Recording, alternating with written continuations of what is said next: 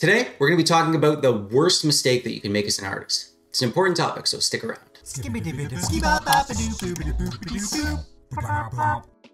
Hello and welcome. My name is Doodlemachine. Thank you for joining me for another artsy chat. Let's talk about mistakes, artist mistakes. Specifically, the single worst mistake that an artist can make. It's big, it's bad, and it's completely avoidable. And in fact, knowing about this mistake, maybe even me telling you about it in this video, may help you avoid it forever. So listen up.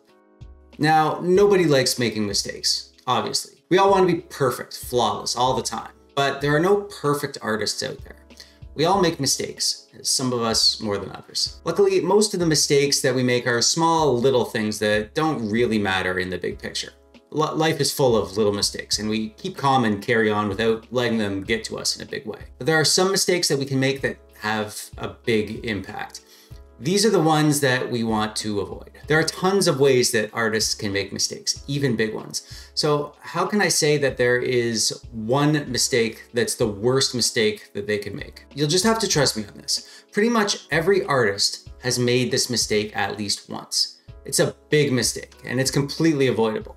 It's kind of mistake that once you make it, you can learn from it and you're not likely to make it again. That's the hope anyways. Some artists continue making this mistake over and over and they're bad artists, frankly. I can say that with confidence. Hear me out. If you disagree that this is the single worst mistake that you can make as an artist, let me know and we can have a nice argument in the comments below. I'm kidding. I'm not kidding. So let's talk through this. Bear with me. There's a few topics we need to cover here before we get into the one big mistake. Basically, there are two main types of mistakes that artists can make.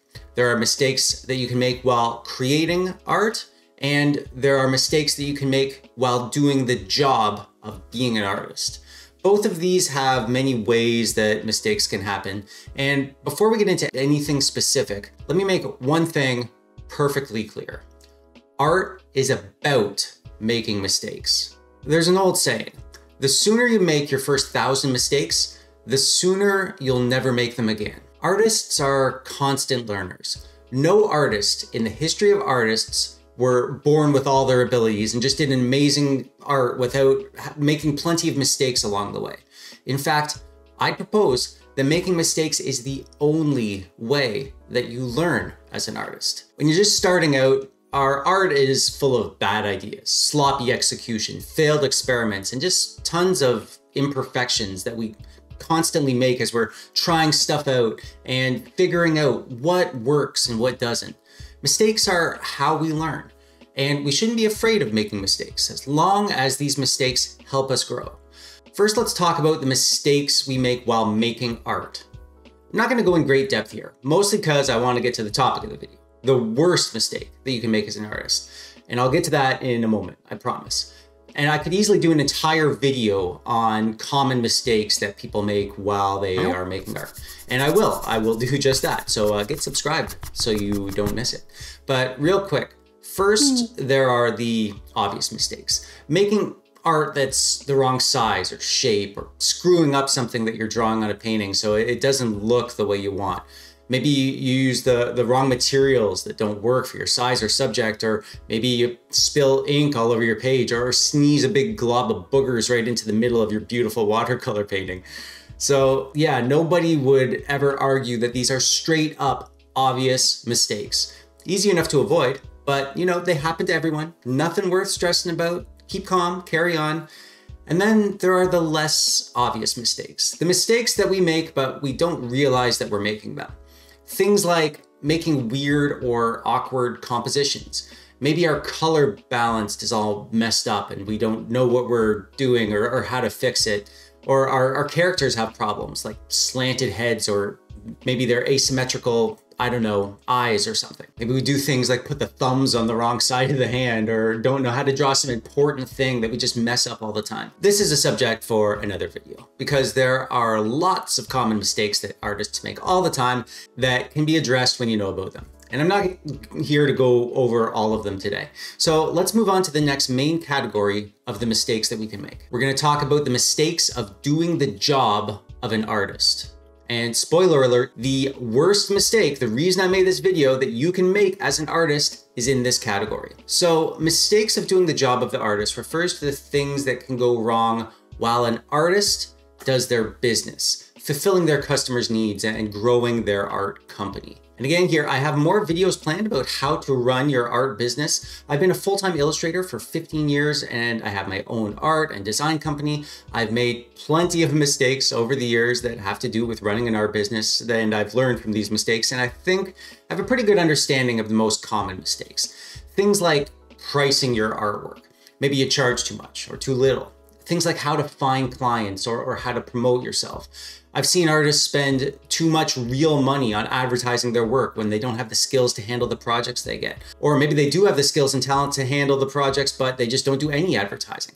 And then there's the nitty gritty of running a business, how to invoice, how to handle contracts and payments. Lots of things that can go wrong and, and many aspects of being a professional artist. And this is where the mistakes are made. But there is one mistake that artists can make that is devastating. It's so common and so important that I wanted to do an entire video about this topic. And it's taken me a while to get to the point. I know, I know. I'm sorry, I can be long-winded. It's just that this mistake is so incredibly common and it just sucks because it's so totally avoidable. Some lessons are only learned the hard way though. So, you know, I think most artists make this mistake at least once in their careers. I've made this mistake. It sucks. And I'm glad that I've identified the cause so that I can be extra vigilant and make sure that I don't keep making this mistake over and over. Many artists will learn from their mistake and not make it again, and they'll be much more successful. Many artists won't, and they'll be worse off because of it. If you make this mistake too often, you might as well get a job flipping burgers or something because you will be a failure as an artist. I can guarantee that. It's that important. So, what is it? I'm going to tell you right after this word from our sponsor. Squarespace is the all-in-one platform for, I'm kidding, I'm kidding, sorry. Okay, okay. The single worst mistake that you can make as an artist is not fulfilling your customer's need. I, I, couldn't think of a better way to phrase that, so please let me explain. When a potential customer finds an artist that they want to work with, they're looking for a problem solver, someone who can do something that they can't for a specific purpose. This purpose might be a one-off kind of thing, like a single project that's done when it's done and that's that. Or they might be looking for somebody they can work with in the long term.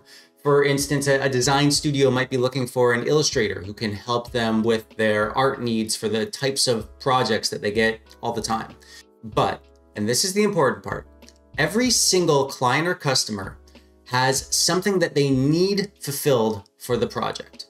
Or to put it another way, there are some parts of a project that are wants. For example, the client may want it to look really good, to be visually impactful, to appeal to a certain audience. Lots of things they could want as a result of working together. But there are always some parts of a project that are non-negotiable needs. Things that are so important that the project is literally unable to help them without fulfilling these needs. For example, a magazine wants to hire you to do a picture for their cover. They want it to be dynamic, engaging, and to appeal to a specific audience. And they want you to be easy to work with. They want you to be competent, to make good decisions, and to give them useful assets that they can work with. But they need it by the end of the month.